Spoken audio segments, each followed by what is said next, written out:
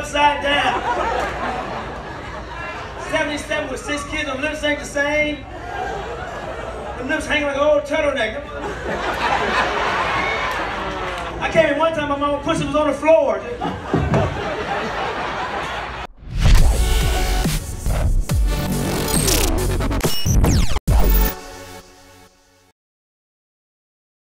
We got Guy Torry in the house, man. Man.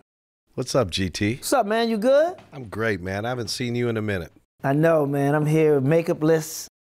My lips all chapped, sunburned, but I'm gonna do it, man, because you my guy. Appreciate you doing this, Guy. We've been trying to get together on this for a while, and uh, man, you've been so busy on Phat Tuesday, and uh, Man. It's obese Tuesdays now. It's, it's getting fatter. it's getting Bigger, fatter, badder, fatter.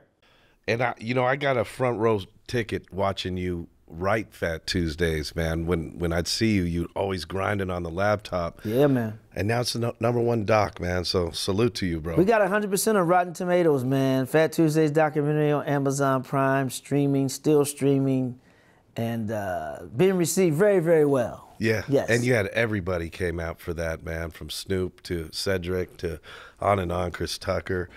How was how how was the response you got from kind of the the comedy community on on the project? What was You know, it's been it's been the, the what the response to Phat Tuesday has been uh, great. A lot of it's what's surprising is a lot of the younger comics. Even when I go to New York, New York comedy scene, LA comedy scene, two separate worlds. But when I go to New York, man, I hang out.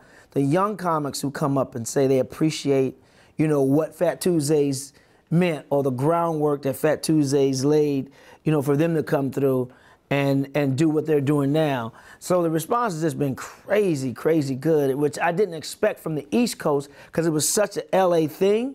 But the comedians from the East Coast used to come and you know and and experience Phat Tuesdays and do Phat Tuesdays. So to have the younger generation uh, embrace it, man, is just amazing.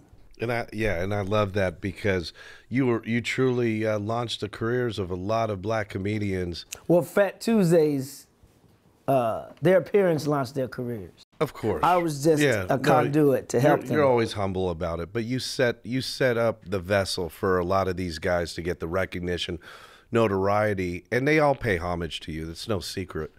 Um, tell us a little bit about um, how the how black comedy has changed over the years, and do you like the direction where it's going?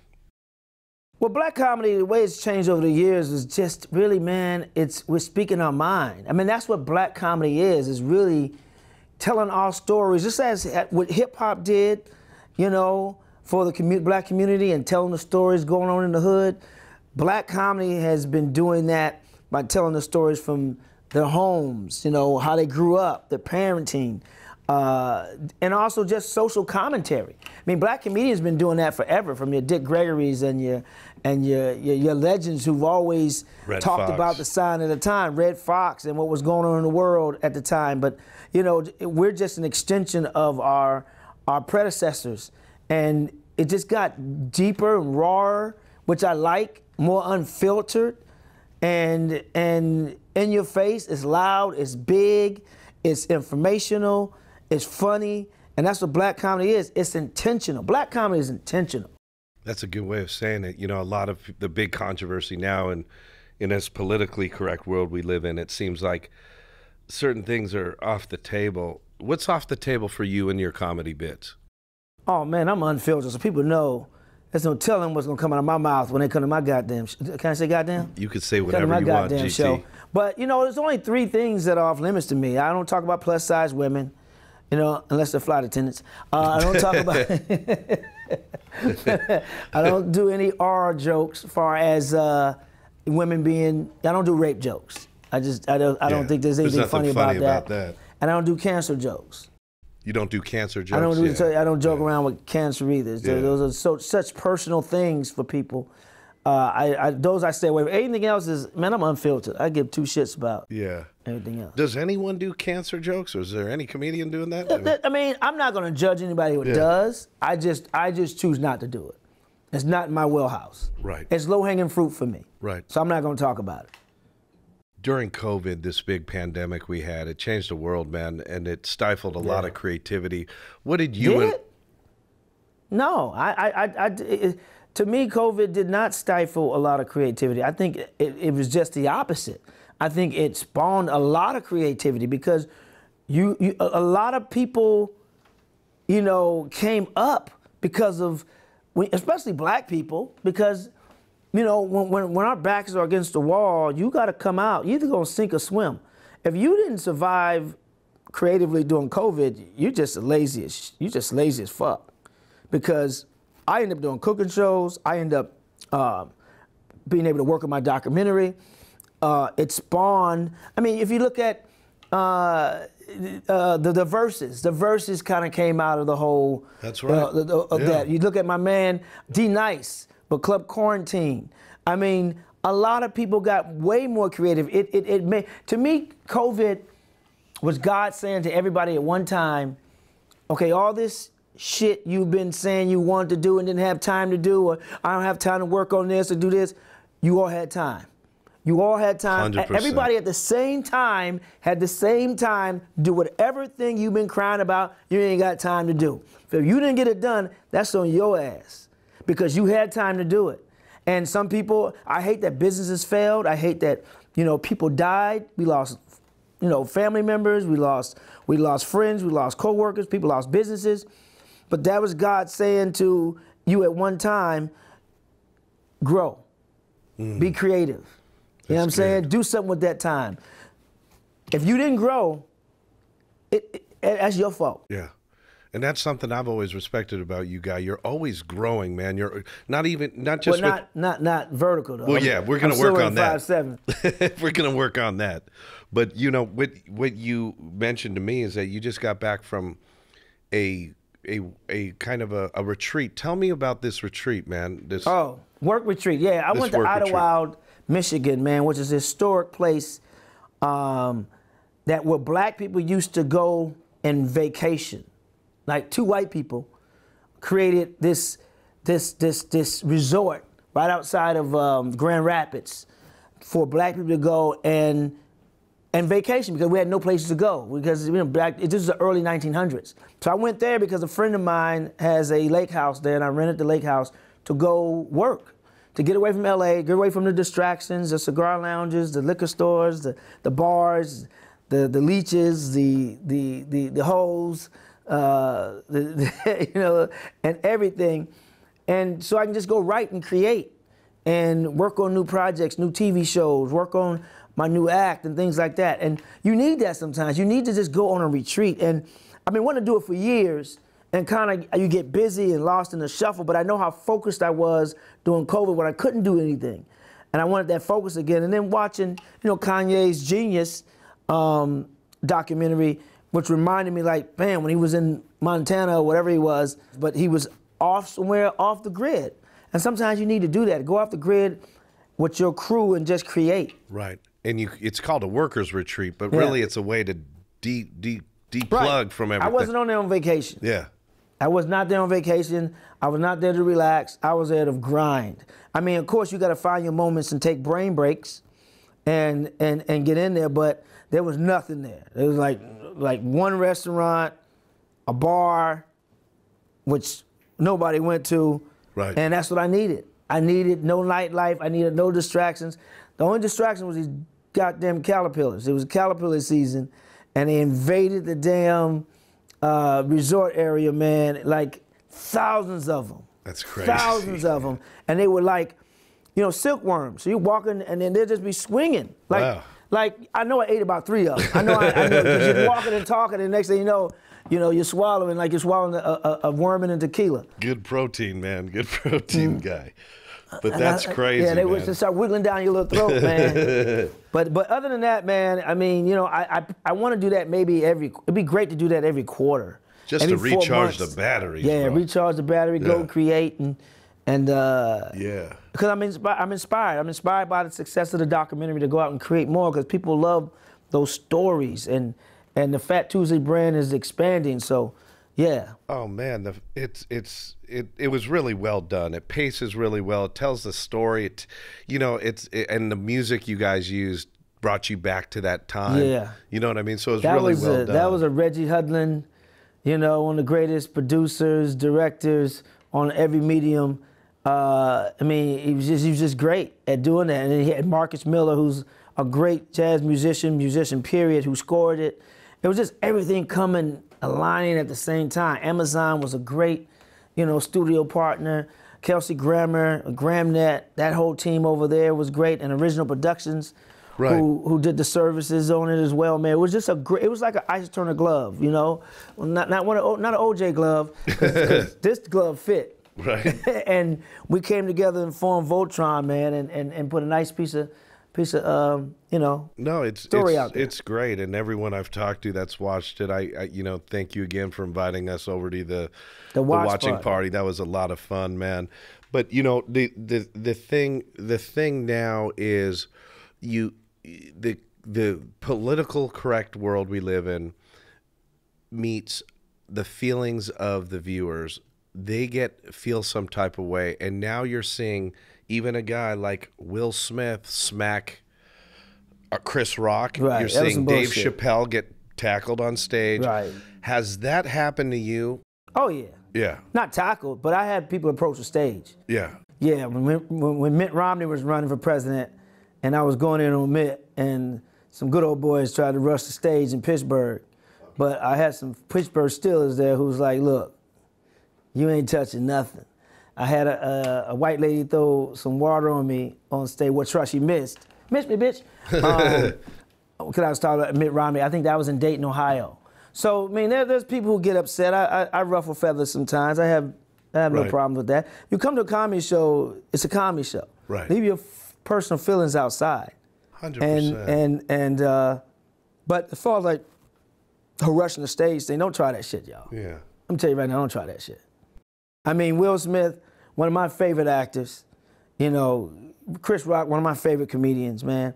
But Will was wrong. He knew he was wrong, uh, and it, it was it was foul. It, it, and I, he, Chris Rock is way more classier than me, cause I I, I, I would have disrupted the whole goddamn Oscars. He played it pretty But, cool. but he played, man, what a classy guy. And, and, and, and, and Will ain't no punk. Will, Will from the streets. Don't let this, don't let, don't let all the good guy stuff fool you.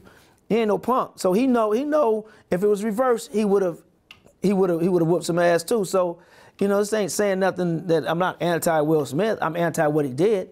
Right. You know, but he was wrong, and and you know, I don't, I, I don't get down like that. It's When like- you and I, I, you were like the first guy I shot a call to. I said, "Was that fake?" No, because some told- people thought it it was wasn't fake. Yeah, it wasn't, it wasn't staged, man. but you knew off the rip it was I- a real. I- it, it disturbed the hell out of me because two of our, especially being black, and one of our one of the greatest actors of our generation, one of the greatest comedians of my generation, uh, and Will Packer, who produced it, who who executive produced the Oscars, you know, seeing his light being dimmed a little bit because I knew him when he was a cable puller on a movie I did called Ride back in '97, and to see him go from there to exec producing the biggest award show for film, and to have that happen on his watch was like, come on, Right, come yeah. on, brothers, That you gotta, you gotta be better than that, man. You you you gotta do you got you gotta you know and and and I think it was a lot of underlying stuff going on with that whole Will Smith thing, it, that that um, it was just wrong. Yeah. Period. And he knows it. 100%. Everybody knows it. You know, guy, it's funny because a lot of people think, oh, you know, guy guy got to ride the coattails of his brother, and he just woke up one day and was this this high level comedian. Yeah, people think I started on third base. They think you started on third. What they don't realize is just like that guy started as a cable puller, you were a PA in town, man. Man, before then, I was an extra. I started in the minor leagues. I didn't start on third base. I started in the minor leagues. When I first moved to LA, I was grinding. I was a marketing assistant for a movie called Zebrahead. Um, Oliver Stone produced film with uh, Nebuchadnezzar Wright and and uh, Michael Pri- Michael Rapaport. Um, and and then from then on, I started doing extra work, you know, background work. After that, man, was just a PA on the Martin Show, was delivering scripts, but always, you know, grinding, always being a sponge, man. And then when the opportunity came to write a script, you know, Martin and them allowed me to write a script that was got produced. It was one of the funniest episodes, and. Uh, after that, man, I started acting. Had a, had a decision to make. Do I want to be, you know, do I want to quit my job as a production assistant, you know, a gopher, guys who delivering scripts and running errands, to taking comedy serious and going full time with it. And that was a first leap of faith. Other than moving to LA, that was the first leap of faith I took. Was like, you know what? I'm gonna I'm gonna quit this guarantee money and go out here and, and, and try these jokes. I bet on me. And and the bet paid off, man, because now you're producing number one documentaries and your acting career is on fire. Your comedy career. Do you think everyone should start off in improv if they want to crack into the acting world? Is that important? Everybody has a different route. You know, my route was my route. Your route is your route. Um, you do what you feel necessary to do. I mean, learn all the tools, of course. I mean, it depends on what you want to do, but learn all, learn everything. Because in this day and age, with technology, you can do everything, and you ain't, you don't have to wait on anybody. You know, I get I get asked all the time in, in different cities by young actors or directors or comedians and writers like, how can I get put on? How can I? And you really don't have to move to LA to do that in the beginning if you can't afford to. If you can afford to, do it. But I tell people, you know, if you want to be a writer, right, and you want to, you need a reel. You need something, a sample to show people what you're, what you do. So I tell people all the time, if you want to be a writer, okay, find someone who wants to be an actor in your little town. Then find somebody who wants to be a director. Mm. And find somebody who wants to be a DP, a, a, the director of photography, who want to shoot. Find someone who wants to edit. Find someone who wants to score. All y'all get together and put on a project. That way, the writer has something for their reel, the actor has something for their reel, the director, the editor, the cinematographer, the uh, score. Now y'all all have a piece of something you can show like this is what I do. I wrote that or I acted in this. There's, you don't have to be in Hollywood or New York to go do that shit. You got phones now. You can shoot a whole movie on that shit. Shoot a short. Just find somebody in your little town. You all get together and put a project together. That may be the biggest gem you've dropped. Just create your own team. Create your own. and everybody, every every hand washes the other. Exactly. Yeah. Now all y'all that. got something for your reel. No one, you got everybody is all the bases are covered. You're good. Right. So quit waiting on that phone to ring or quit waiting on somebody to give you shit. That little phone you got right now is all you need, and and put your team together. Isn't that crazy? We have we literally have a studio in our pocket. Yes. Now. It's insane. Yes, I do all my own social media and, and, and stuff. I can score it right on. You know, you got somebody in, in you got somebody in, in a town who just do beats, right? Get a beat from them and tell them their beat is going to be in their production. You got somebody who, who, who, who wants to be that director who call the shots. Find those people. Right. Y'all get together. Boom. That's your calling card. Right. You know, you talked about acting. I, you know, in my top, say, 25 films, one of the films is History American X. American History X? American History X. He's a little dyslexic, y'all. Be patient. he grew. He went to public school. he uh, I watched you hang with Ed Norton, man, in, in a pivotal scene. The movie touched on so many different things, and we don't need to get into that. But how was it working with Ed Norton? Did your game rise to the occasion, or talk about that moment in time? A lot of people may not remember that film. It's a classic must-see yeah. film. Yeah, it's it's it, it, it, I learned a lot from working with Ed. I learned some good. I learned some bad. Uh, I learned that Ed is very passionate about what he does. And he's great, not good. He's great at what he does. Uh, I learned, you know, how to do film uh, by working with Ed, learning, you know, lenses and camera angles and um, um, the shot, shots and things like that. I learned, you know, the method. You know, he's a very good, great method actor as well. So I learned a lot. Um, the bad, a little bit of bad, but that, that is that comes with wanting him wanting to the best project. He may not go away about it the best way, but his intentions are pure. A little bit of a dick, kind of on set. Um, kinda? just, just I wouldn't say a dick. I would say, I mean, you, you get nominated for an, an Oscar in your first project your dick's yeah. gonna grow a little bit. Sure. You know, no, I understand. And being trained the way he was trained, it's the real, you're gonna have yeah. a bit of a, you sure. know, you know, you coming in like the Straight Outta Compton video, you know, boom, you busting in. Through the door like that, you your balls are huge. Right. So, and being young, a young actor at the time No, in the got you. game, I'm reading between the lines. then yeah. then yeah. So I mean, um, that would do any that would have anybody feeling a certain type of way. But what God has done for me is He made me self-aware. So when I when I'm being a dick, you know, my other side be like, "Come on now, you know that's not you." You know, bring it down a little bit. All right, bring it down. a little. And I have to tell my, I have to talk to myself a lot. That's why I say I'm tripolar because I, I, I got that I got that ego side, I got that narcissist side, but We I also do. have that self awareness as well, and then I got that that God that, that balances everything out. So I know when to, when when when to say when and when not to say when. Right. But but working with Ed Norton was amazing. Working with the director Tony Kaye was was amazing because he gave me a green light.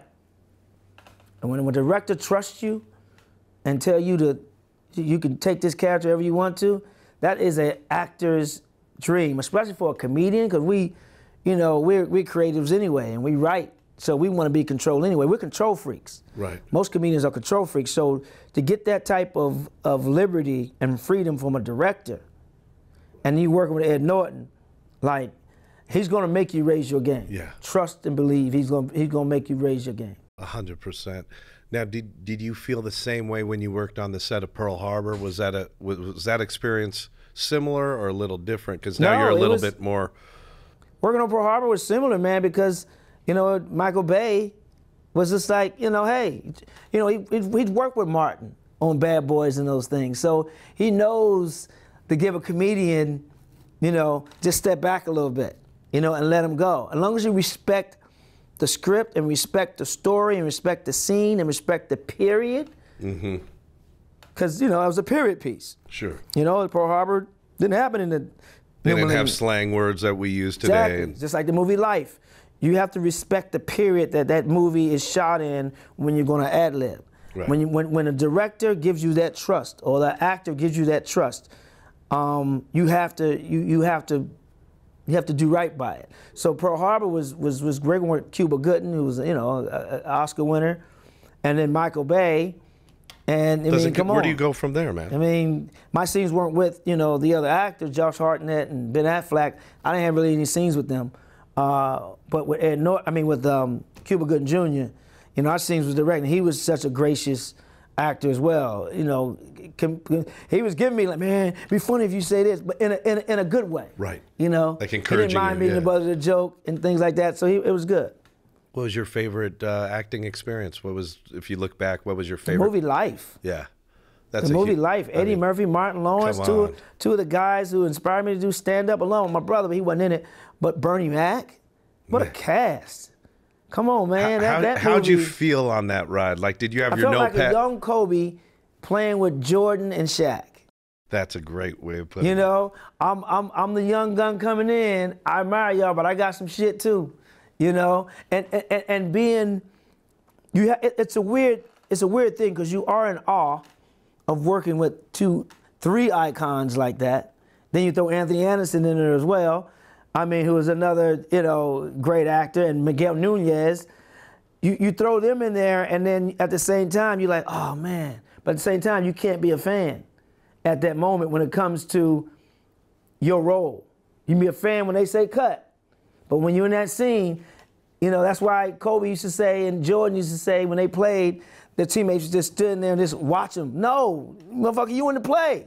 Right. It- it- forget that I'm Michael Jordan. You, you gotta you you on the team right now. I need you, and that's how you gotta be in the scenes. Yeah. You gotta be in the scene. You gotta be. You know they they need you. Right. You need them, and and and you all are feeding off each other. So that energy is important. You can't Yeah. be in fan mode when you're in the scene. Right.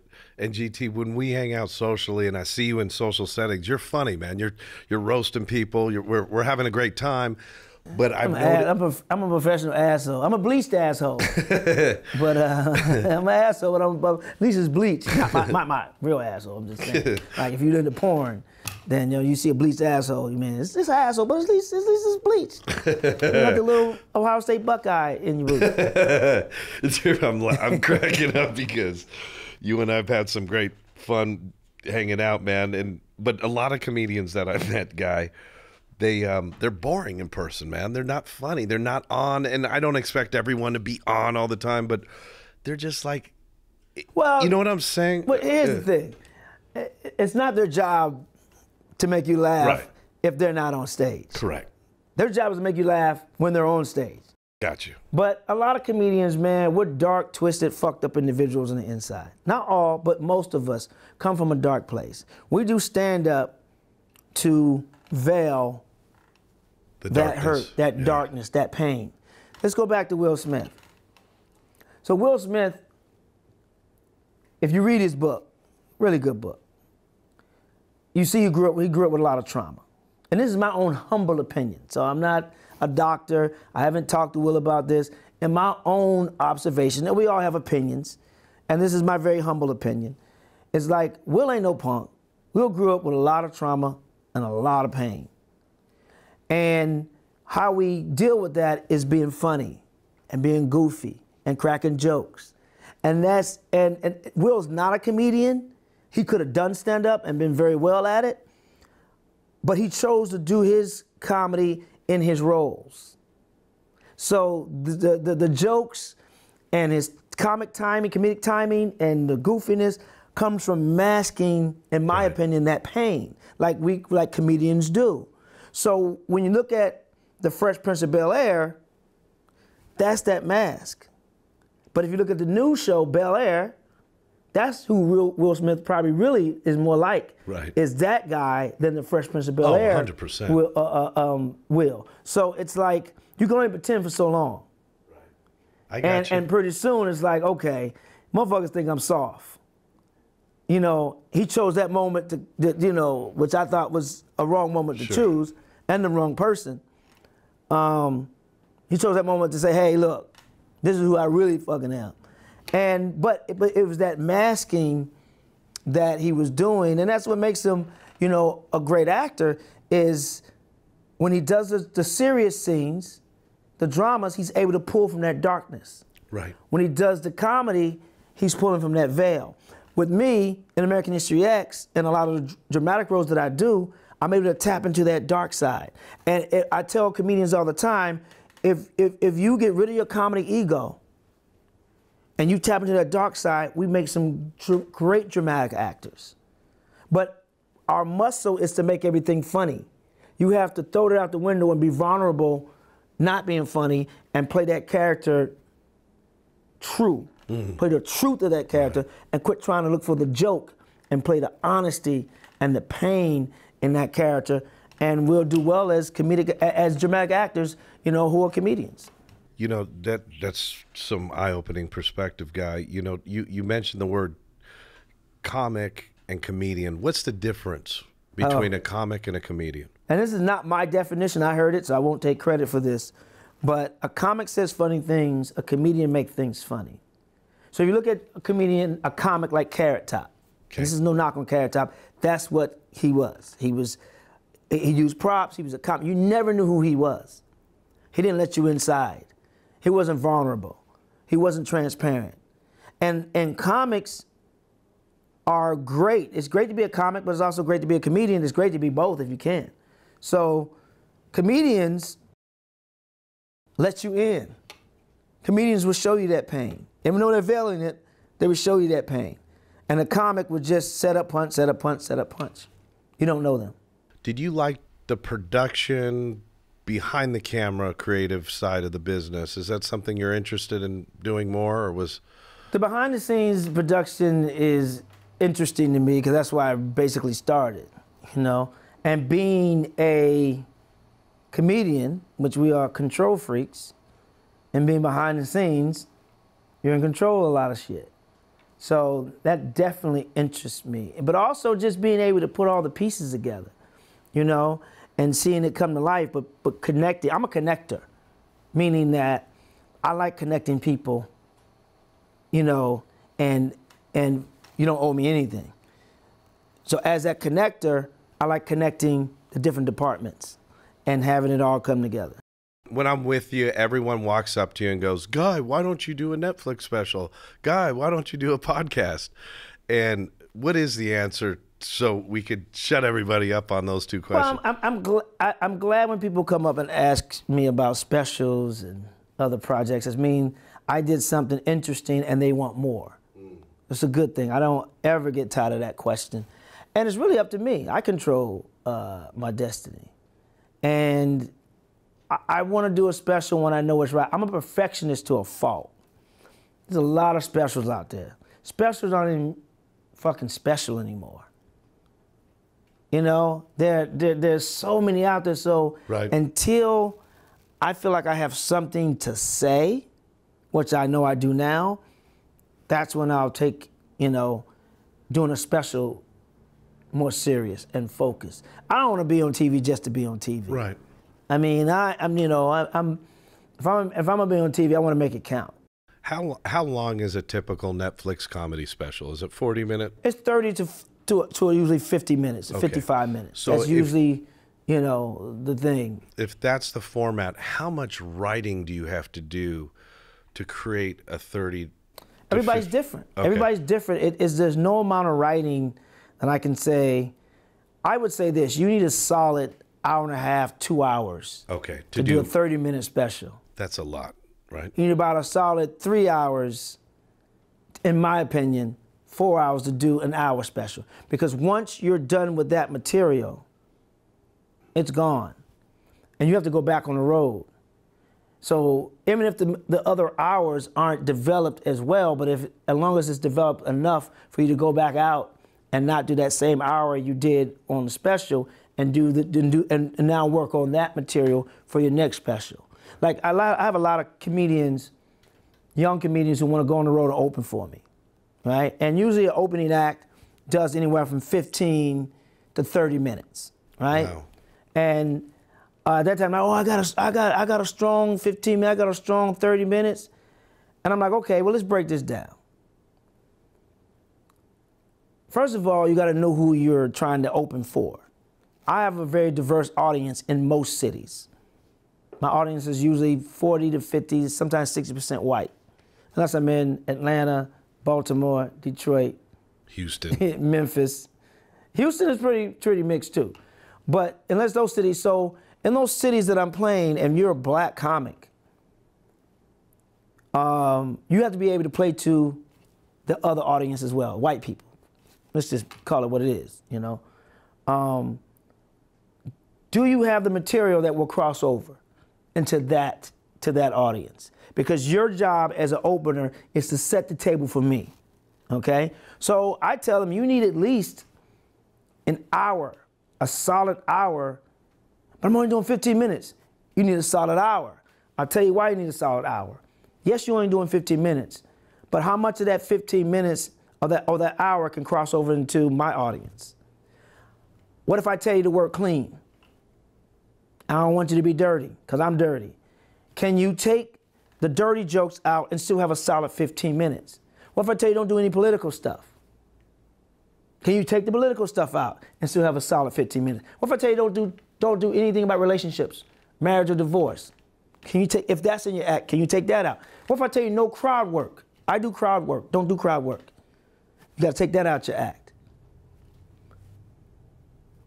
You may not be left with shit.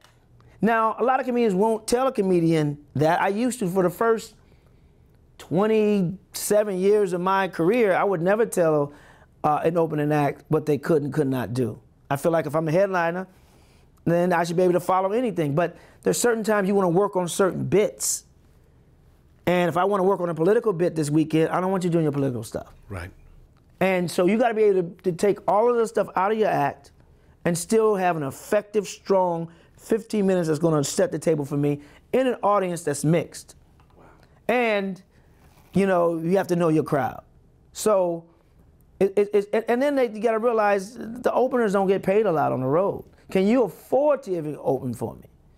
The comedy clubs don't pay the openers that much money at all. Most, most of them don't fly you in and won't put you up. Wow. And out of the money that you make, Can you get can home? you afford plane tickets, especially now? Can you afford your hotel room? And then when you're done with all that, can you afford to pay your rent when you get back to LA?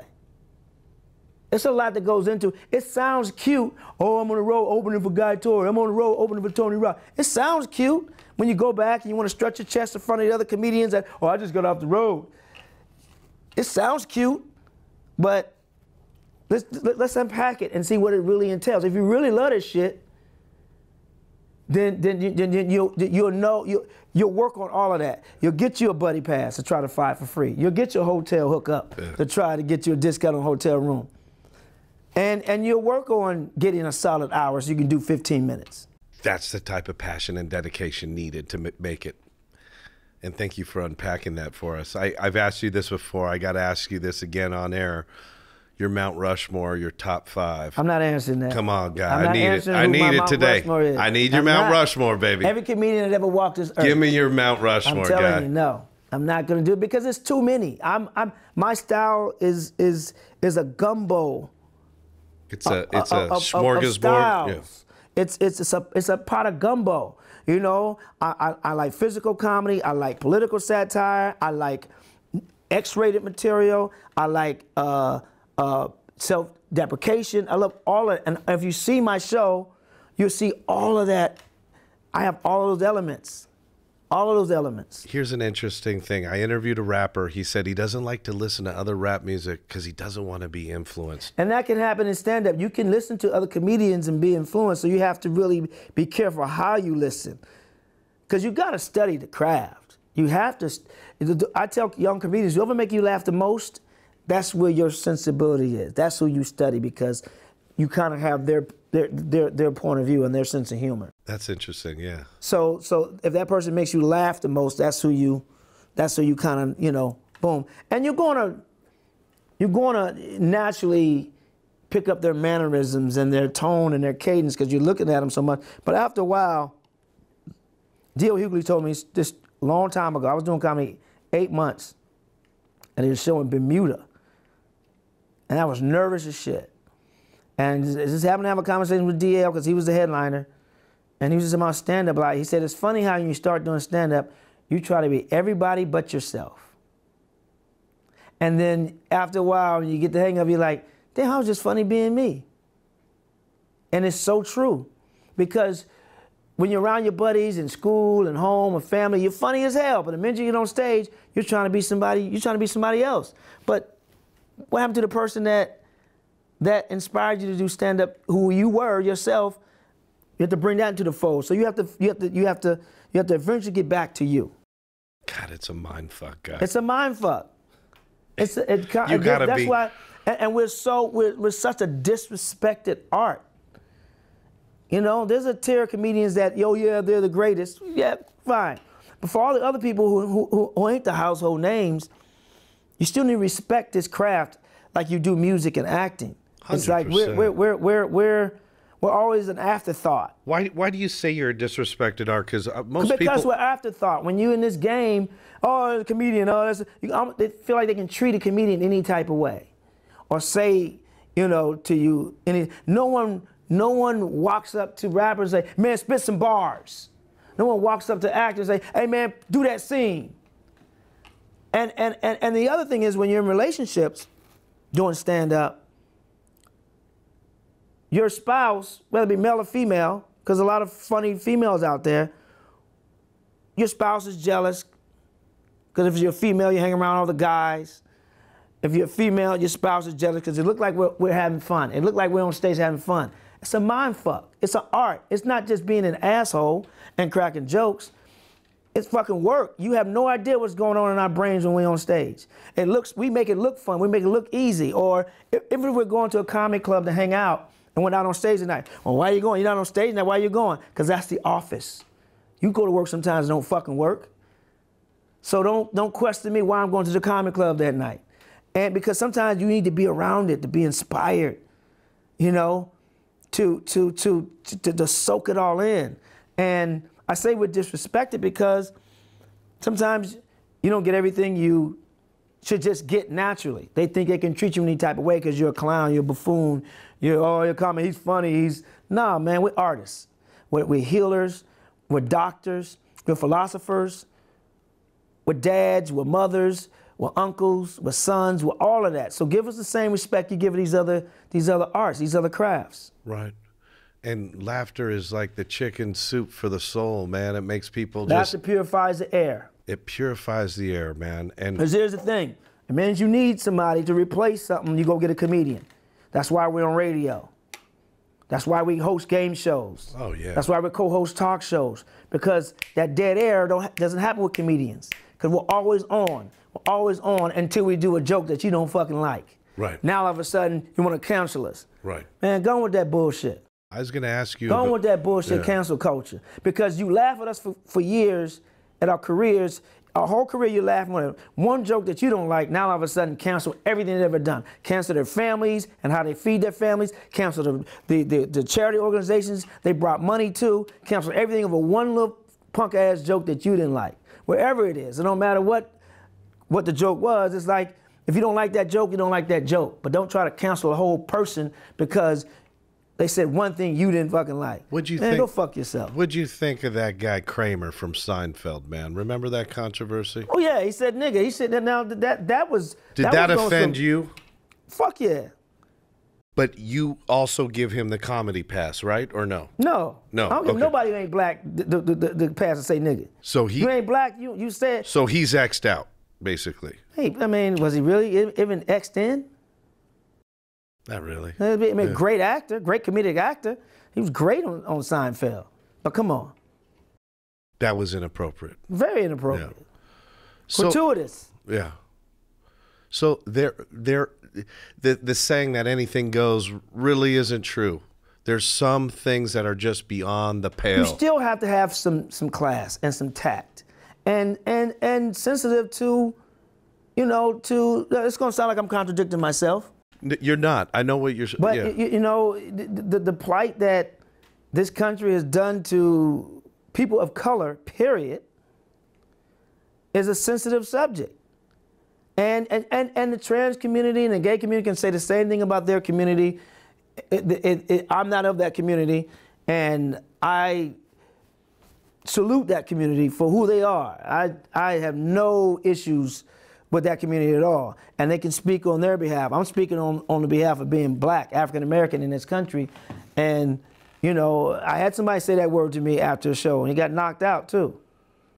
that was in Houston, Texas, right? Yeah, he got knocked out for saying it to me. And a, it was a white comedian on the show who wanted to say the word because something happened to him. And I told him, "Eh, not on my watch, bro. You- Yeah. You, can you can try it out another weekend, But don't but you try this weekend, you're gonna get knocked out too. What's what's the big project that's in the chamber right now? What do we More get? Phat Tuesday stuff. Uh, you're gonna Um, build We've been up- build- pitching more more shows surrounded by the brand of Phat Tuesdays. Uh, people want more. People said the documentary wasn't enough. They wanted more. When they got through watching the three episodes, it's like, you know, what's happening? So we're in the process of putting. When I, when I originally pitched the project, I pitched like six shows related to the brand because people told me, you know, when I first started doing the doc, I start first started working on the doc, as far as like developing it. On documentaries don't make money, so I created other shows under the umbrella.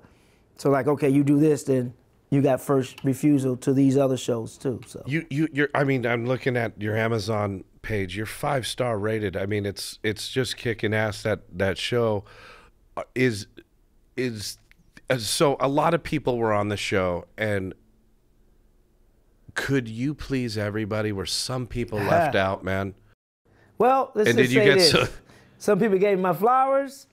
Some people gave me some dead roses. There's a lot of people who we didn't get to interview. We didn't get to their story. And I wanted to get to all of them. And I did my due diligence in preparing the documentary as much as I can for the director to come in and tell the story how he saw fit, right? Because it's a legend in the game. And I, I, I did as much prep as I could. I interviewed people, pre-interviewed people. I had binders, five binders this thick.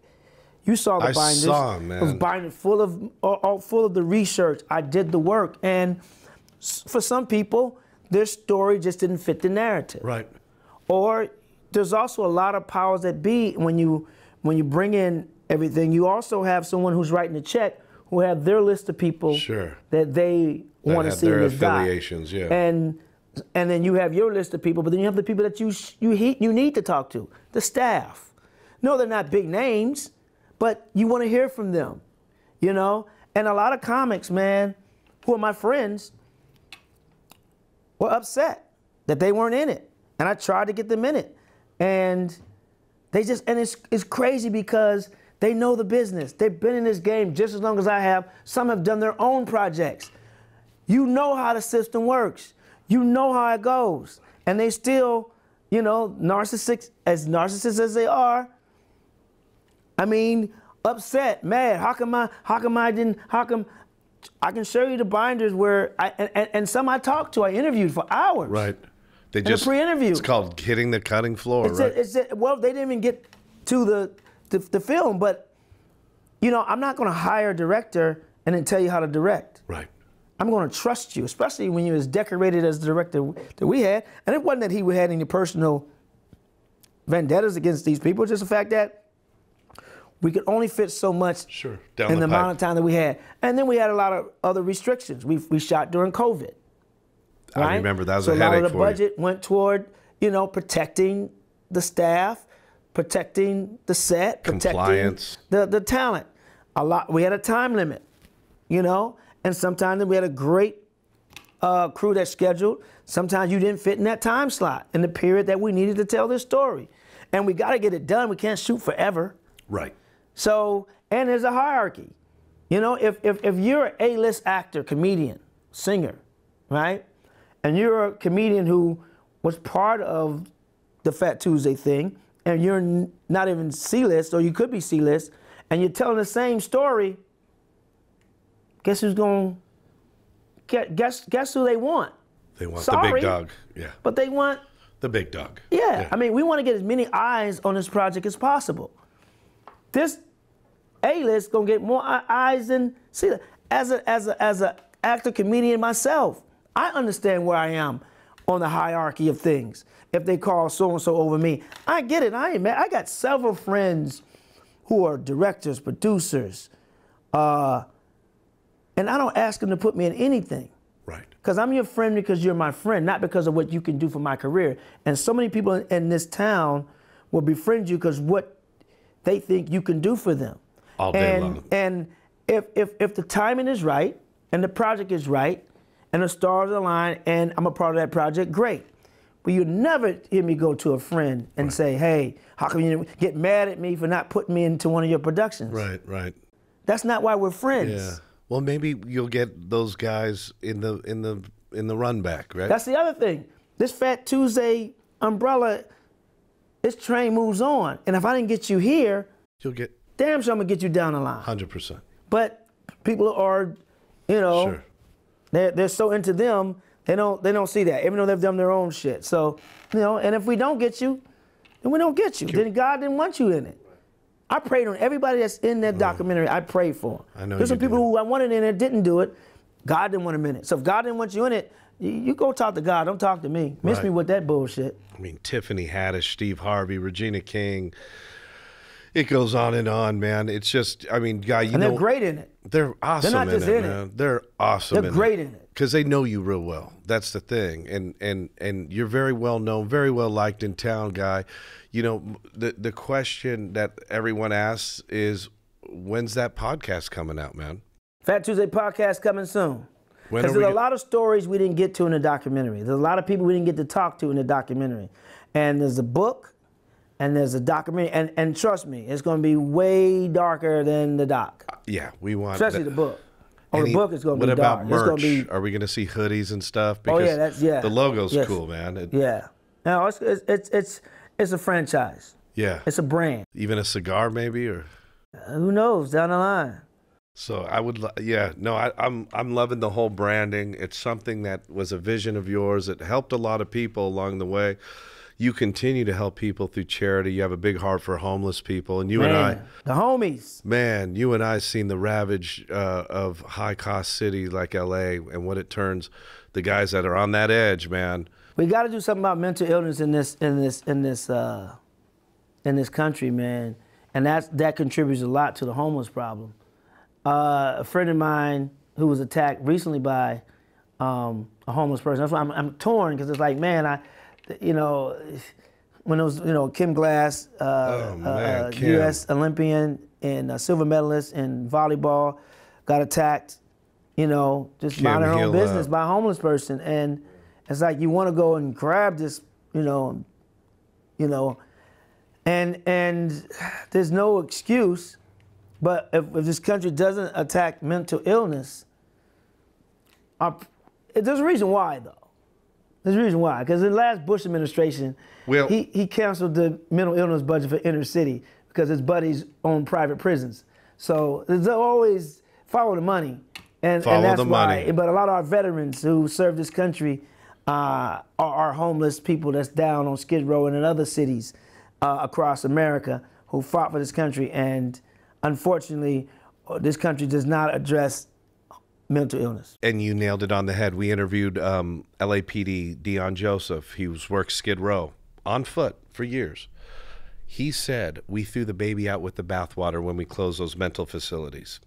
I think the Reagan era, during Reagan's time, we closed that.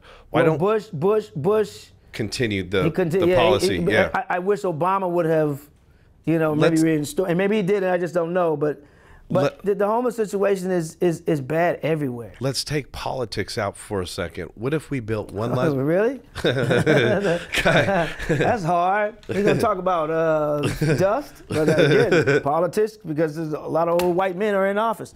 um, so you talk about dust, you talk about politics. But go ahead. I'm sorry. Watch this. We don't build one less aircraft carrier. No. and we could fund homeless shelters that actually serve as rehab centers Well- and mental health professionals that don't zap Well, people. well, and- but here's you the know thing, what I mean? though. Here's the thing with that. That's a, it's it's kind of tricky, and I, I'm I'm not entrenched in what goes on behind the scenes. So I'm, I'm sure you can talk to professionals who really knows what's going on. But from the outside looking in, and just talking to a lot of the homeless, the homies, uh, the homeless uh, situation, our men and women on the streets, um, they don't want structure. There are facilities. Some of them don't want structure. They don't want to have to have a curfew. Right. They don't want to have to uh, be drug free. They don't want. They want to have sex. You know, they rather fuck on a corner than fuck it, it, it- You know, they rather fuck on a corner than be in a nice warm bed with three hots and a cot. So it, it, it's it's it's tricky because there there are facilities. So this, uh, it's just finding a way how to treat the mental illness and work that way Right. And and and and and that because a lot of people they, just want they don't want to be they don't want responsibility. Right. There's a black guy I heard who's a physicist, uh, and his family been trying to get him off the streets for a while. He's like, nope, I'm good. And he's got an IQ of like a 165 Yeah. or whatever. He's like yeah. Mensa, Yeah, you know. right. So it's it's it's, but there's enough smart people to figure it out. Yeah. Unfortunately, you and I aren't those people. I'm not. one of them. but yeah, guy, I just. I just felt Jim. right? Guy, you you uh you've done a lot for charity, man, for cancer, for for children, for for homeless. So I you know, hats off to you. You don't get your roses enough for Man, that I stuff. get my flowers uh, every day- every morning I wake up. Those are my flowers. Nobody owes me shit. no one owes you shit and you earned everything you did, guy. And so hats off to you, man. Salute you. We love you, bro. And um you, can our fans tap in with you? Do you have like an Instagram or Facebook or Uh, I need to get my Instagram up too, so please follow me at Guy Torry, G U Y T O R R Y. My YouTube page is coming. It's there. It's just not there. There. It'll be there soon. I got a lot of content I'm putting on there. That's Guy Torry too. And Facebook has locked me out for some reason. I don't know why I can't get into any of my accounts. There's an old white man face on my. that Mitt Romney bit you did Yeah, back yeah. Somebody got control of my account, but I'll I'll work it out somehow. Right on. And GT. I'm, I'm I'm starting to do the TikTok thing. I thought TikTok. I'm gonna show my age now. I thought it was just for motherfuckers who dance, and I can't dance. But I I, I, see it's bigger than that. So That's right. just you know, and my website it will be up soon too. GuyTorryLive.com or GuyTorry.com. We're gonna look for it, and if you haven't seen Phat Tuesdays, check that out on Amazon Shame on you. Originals. And rate it when you watch it. Rate, Rate it, give it five stars, baby. Guy Torry, thank you again, brother. Love you.